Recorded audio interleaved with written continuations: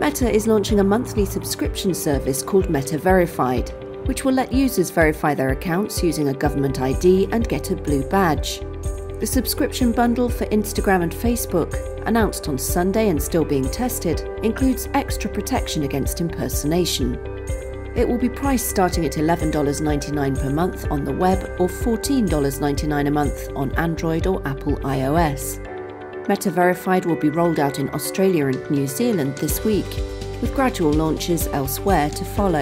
It comes after Twitter announced Twitter Blue, priced at $11 a month. Virtual reality CEO Mark Zuckerberg has said Meta was planning products that would, quote, empower creators to be way more productive and creative.